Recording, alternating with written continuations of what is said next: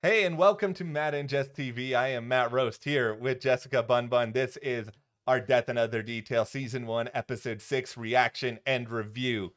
Rufus Cotesworth, you dirty dog. You've got some explaining to do. You and your dyed beard that Mandy Patinkin used for the flashback sequences. How dare you, sir? Is anybody surprised that he might be just a little bit of a fraud and that he kind of like fell into a little bit of luck with some of his cases? I was surprised. I was I was surprised. Yeah. I I'm let me put it this way though. I'm actually happy. And it's not because like I'm happy that, you know, Imogen's finding out something like this in this way or whatever, but I felt like one of the big issues I had with the show was that the Rufus character, all we really knew about him was, oh, he's the world's greatest detective. He's got all these catchphrases, details matter, like all this sort of stuff. And it felt like the character wasn't really deep enough. Yeah, and the other thing I found really kind of weird this season, and now it's all kind of making a little more sense, is why I know he in some ways didn't have a choice to let Hilda come in and take over everything because she was with the Interpol, but at the same Yeah. time, as she was just going through things, he was just letting it happen a lot of the time. And I was kind of like, why is it happening like this? Like, why is it playing out like this? Yeah. And this is an answer. If he's a fraud and he's he's a guy who does dive into the details, because that is Yeah. true about him. He he is able to pick up on those Yeah.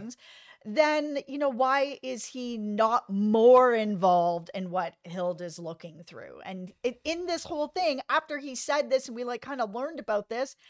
In this, he's falling into luck as well. Like, you know, finding Layla and getting that information. He got lucky to be at the right place at the right time again. Yeah. He is basically Mandy Patinkin now as Sean Spencer from Psych, who was running around claiming he was a psychic detective when really he just was like able to pick up on some things. And, you know, his pickup, as you said, is just luck. He's gotten very fortunate in some things. I think he has picked up a couple of little skills over Yeah. the years. And, Yep. you know, good on that for you, Rufus. But yeah, now congratulations. Now we have no real hope of actually getting any sort of answers on all of this unless either you get lucky or we're relying on Imogen, who technically has no detective experience whatsoever. No, but together they do feel like they're able to unfold things. And I really liked this reveal because it's Yeah. so different than anything else we've really seen on sort of these detective shows where it's like he's a complete fraud. Imogen's not really, you know, a detective or a detective's assistant, but together they're able to like work off each other in such a great way that it makes both of them better. And I think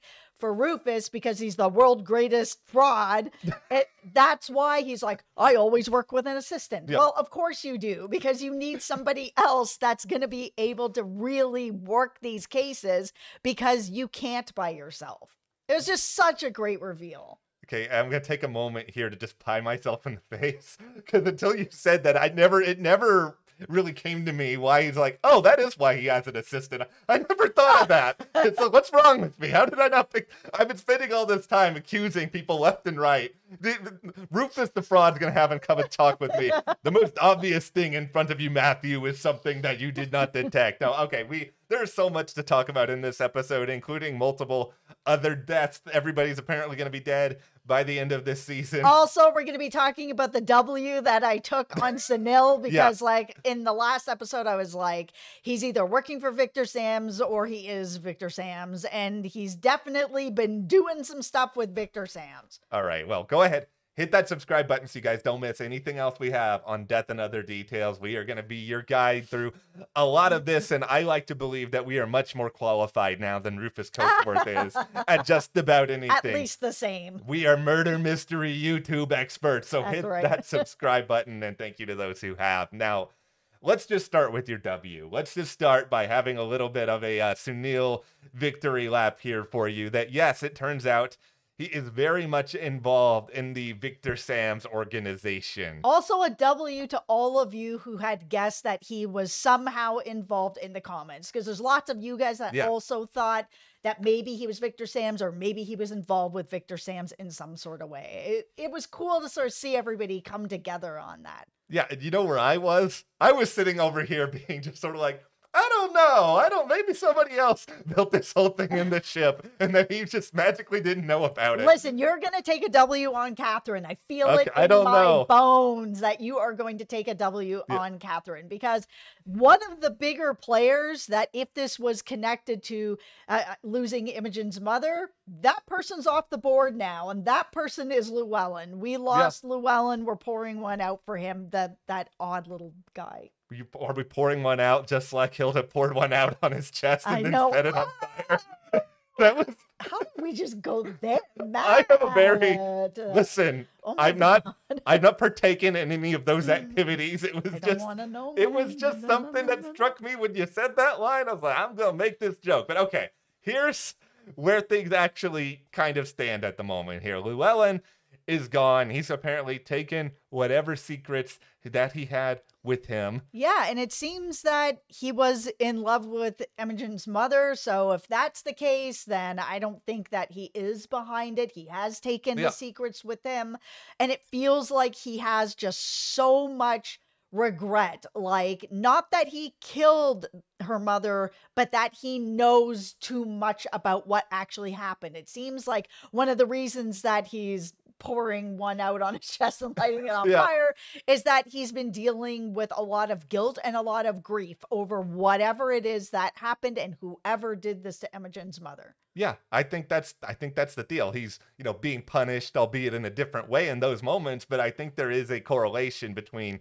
you know, that and how he clearly feels about himself. Like Yeah. you can be good at your mm-hmm. job, but also still, you know, hate your job, hate what you've done, regret all of these things that have happened. And, you know, unfortunately, for most of the show so far, there just hasn't really been much information about Imogen's mother other than, you mm-hmm. know, the relationship that Imogen herself had with her. And so now that we've seen what we have with Llewellyn, the mm-hmm. question then becomes okay, who else is going to be able to give some sort of information? Because I tend to think that there's obviously going to be a lot of questioning as to okay, why did Llewellyn go ahead and do this? Why did he know that he was trying to hide? That's the thing. Okay, so with Llewellyn saying what he said and being off the board, that's why I feel like we're going further into Matt W territory with alright. Catherine and all you guys who mentioned Catherine as well. Because if this is all tied to Imogen's mother, there's only a handful of people who would be adults back in that time Yeah. that would have been able to put something like this together. If it's not Llewellyn, which I don't think it is, Yeah. I no longer feel like it can be or would be Sunil, even though he'd be old enough. We know Yeah. that he's working with Victor Sams, but we don't know that he's, you know, he's not Victor Sams. So, like, I think that it was actually Catherine or Lawrence or the Kingmaker. He would have been around at that time as well, and they're all old enough to do it. But at the Yeah. same time, I just. I feel like it's Catherine. There's so much smoke on her, and it all kind of makes sense. Now that we know what the secret is, that their company's been poisoning their workers, it was the governor was gonna put it out there, but all of a sudden, all her material just went missing, and she's dead now. You know, thanks to Victor Sams, you know, sending Winnie to give her the IV for the vitamin drip, and now she's dead. It's just like, it's Catherine. It Catherine has to be well, she's still number one in my books. Like she has to be just because everything you have said, the motives just line up perfectly. And she's been forging Lawrence's signature. Yeah. Like, why would she be doing that? Yeah, clearly she's obviously hiding something. She's got a very she we've already seen her moral compass play out in a number of different ways, Yeah. whether it be forgery, whether it be infidelity, and I Mhm. know these things are not murder, but you know, she's already doing a lot of shady things. She has shown herself that she will do whatever it takes to get what she needs. She can operate a little bit in the shadows because it feels like Lawrence underestimates her. It feels like Anna underestimates her Mhm. and she's got a lot of ability at her disposal. Like the biggest thing I was kind of like with my whoa, whoa, whoa on my own Catherine theory last week was just this idea that if this command center has sort of been built aboard the ship, like wouldn't somebody need to be on the ship in order to do all this? But based on what we saw from this command center in this episode, it Mhm. doesn't really feel like it's something that Catherine would have to be there in order to run while also being Victor Sams. Victor Sams is on the ship. I've been saying it since Yeah. the beginning. I think Victor Sams is on the ship. However, yes, it, Victor Sams does not need to be on the ship to make this happen. But because this is all contained on the ship, and you know, they're gonna give us like a really cool reveal, you know, and it's gonna Yeah. be on the ship. So like, it's her, and I just feel like that person is on the ship. Victor Sams is on the ship. Yeah, it's just way more satisfying if it is. We don't want, you know, some random person to show up at the end of this. What was I yeah, said- they've docked, and now it's we're on land looking for Victor Sams. Like, no, No, it's a lot more fun if they've been on there and we just get a better explanation as to why exactly everything has happened. Sure, Yeah. we can sit here and say, oh, it's because, you know, this chemical was making people sick. They were using it way too long. They had to figure out something. I mean, it's, all- it's all very compelling. The yeah. prob- the problem is just we're we still have a lot of the show left to go. Like it feels like there's still plenty of time for another couple epic twists. Okay, so you just brought up the chemical and that Yeah. it's killing people, it was killing their workers and stuff like that. Let's talk about that whole confrontation with Imogen and Anna because Imogen finally finds out that, you know, the date on the document and that this has been going on longer than when, you know, it was announced that you cannot be using this chemical anymore, that Yeah. it's not safe anymore, and it continued on. And she was basically like, You guys knew, you know, clearly the governor had this information as well. It, you know, it looked like she was going to give this information to Hild. And oh, now it's all just blank paper. Yeah. So it's like, okay, well, who would be hiding that information? There's like, a handful of people and they're all the colliers like nobody else is really doing that. Outside of victor sams who may want to continue to like pluck a little money for a little bit of secret you know what i mean? But like that confrontation was really eye-opening really interesting where anna was just kind of like yeah the minute that i found out what was going on i made all the necessary changes and that's why we're you know going bankrupt because i had to do things in another way it was way more costly but i did the right thing and Yeah. imogen's like what do you want a pat on the back like you Yeah. basically are just like covering it up like you didn't actually come forward and take responsibility for anything like here's your cookie but like stop Yeah, and this is the interesting fork in the road moment right now with both Imogen and Anna's relationship, but then like the broader mystery at the heart of the show, where it's been established now that all of the Colliers have some pretty messed up moral compasses, as we have mm-hmm. seen, you know, and Anna has no problem covering everything up and keeping it going because she feels like she's done the right thing. But Yeah. does being a bad person or making bad business decisions, does this mean that you're actually behind the murders? And that's what gets things really, really complicated. And that's why there is still mm-hmm. This tiny corner of my mind that is sort of suggesting other things to me. It's just like mm. whispering them. okay It's just sort of like, are you abandoning Alan? It's just like it's telling me that like it still feels like there is this potential that we're being intentionally misled mm, on a mm. lot of different things. And I think there are some things that are going on that we can say are misleading because we've, you know, we've heard a quote unquote voice here and it sounds like everybody thinks Victor Sams is a guy. But at the same time, you can use a voice modulator. You can have somebody else do the talking on your behalf. Well, that's the thing is we we haven't even heard Victor Sams yet. We've heard the middleman who Yeah. was like the guy who was chasing them around uh Sunil and Imogen when they were on land. And this like middleman has is the person who set everything up with Sunil. Sunil was even like I've never seen him. I've never Yeah. spoken to Victor Sams. Like all I knew is I wanted to make this boat. I Yeah. run out of money. I was not going to have enough money. And then in walks dirty money, Victor Yeah. Sams, who's like, hey, man, I got you. I'll give you whatever money you need. You just have to give me a little space on your boat and you can never ask any questions about it ever. And that's why where we're at with Sunil, where it's like, just because you didn't know what you allowed Yeah. on that boat, somebody being like, I will give you money and I want to do whatever I want in private on your boat, you're saying yes to that? if they're not going to tell you, Yeah. it's bad.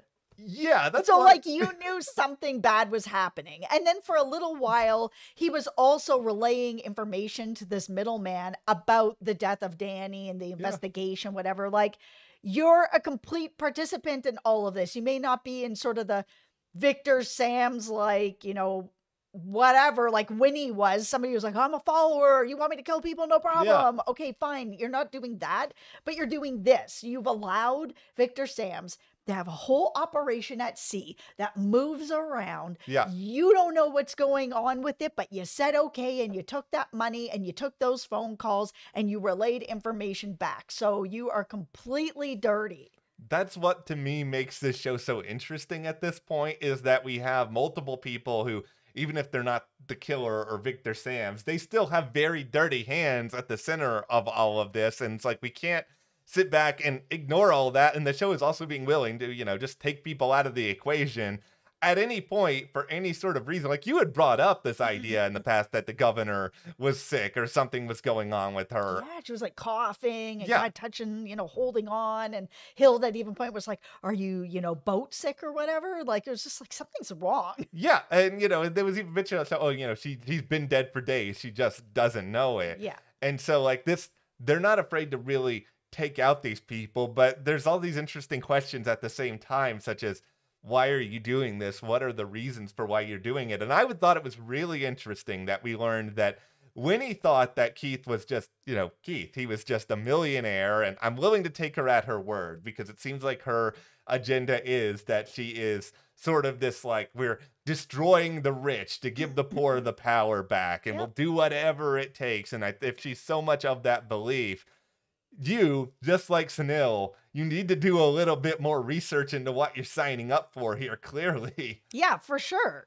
I think that at this point, though, those two, Winnie and Sunil, they're going to be critical to kind of unraveling the rest of the story because you're going to have to find a way to get through to Winnie and try to make like, okay, you know what? You're being used for this sort of purpose. And yes, you took out Alexandra, who is, you know, a governor, and we know that Alexandra has done some bad things, but that doesn't make her, you know, this person who deserved to be killed. And it's just like, can somebody, Teddy, anybody get through to Winnie? Maybe she remembers something because our favorite fraud here, Rufus Cotesworth, earlier was just the season was just like, you know, people sometimes remember more than they think they do. You just have to ask questions in a different way. Well, here's the other sort of just interesting thing about the governor's death, Yeah. right? Like, yeah, she had been di- basically dead for three days, like around the time that we had Danny talking about the other big donors and the Kingmaker, like way back when we first had sort of started on this whole trip. So we Yeah. know that. She had been poisoned way back then. Then we had the confrontation with Catherine, where Catherine was like, "Put your, you know, get back in line you know you you needed to push this through then she gets this email with all these pictures of trip basically being like put your strings back on it feels like and then we have winnie who's like yeah i did it so Yeah. it's like okay well so how many different things are going on here it feels Yeah. like we had like two roads going on where we had like probably Catherine dealing with the like put your strings back on or I'm going to release these photos not realizing that Winnie on the other side was like yeah I'm going to you know kill her off for Victor Sams but then it's like okay well if Catherine is Victor Sams and she's the person who's like make sure you poison her then what's the point of the photos like that whole thing with the governor needs to be explained because those Yeah. roads are like getting really webbed where it's kind of like it makes it that some of the suspects doesn't if it's catherine why are you going to poison her Yeah. then you're going to send these photos being like get back in line but you already know that she's dead it's like what is happening It's really complicated. And it's like you said web. It's like I'm trying to just Yeah. do somersaults in my head to figure this out because there's a part of me that thinks, okay, Victor Sams, he's they, mm-hmm. you know, he claims that he's all about, you know, unseating, you know, the hierarchy, resetting the scales, but you know, is that really his agenda? Is he just taking advantage of, you know, poor people to go and do these things at his behest? And then, you know, he gets more power and he sort of resets the world in his favor. And, you know, if that's the case, sure, you can pin it on one person and, you know, it could be Catherine or whoever else, but it still doesn't necessarily explain all of the links that Catherine went through when she didn't have to go through all of that sort of stuff with the governor if she knew that ultimately she was going to get what she wanted anyway, unless, you know, she thought, okay, the governor's never going to do what I want anymore. But in that case, why bother to send the photos at all if you know it's not going to get anywhere and you just know you're going to have to kill her in the first place? yeah like if she's already been you know she's been given this thing and she's going to die then Yeah. you don't need to send these photos because you already have set that course that's why i'm starting to kind of feel like obviously Victor Sams has like a whole bunch of people that are Yeah. either willing to do whatever, like Winnie, or people like Sunil who are like, Yeah, I'll take your money. You can do whatever you want. I don't care. Yeah. I'll send you some information as long as I get my boat and I can do what I want, kind of thing. He seems to sort of just use what he needs to to convince people to do what they need. The biggest thing that Uh, we seem to know about him is that he deals in secrets. Yes. He likes to have information on people. We know that the Colliers, he has been in their life for like years and years and years, getting money, hiding the secret, probably that, you know, they've been poisoning people. Yeah. And that's been going on all this time, which is why I think you know, Lawrence was fine to give over 51% of the corporation, was just like, I am tired of this. I am done. Yeah. I am no longer, I, I don't want to have majority anymore. That way, that's fine. This problem that, you know, Victor Sams has been taking money from me and holding over my head doesn't matter anymore. I have a really crazy question.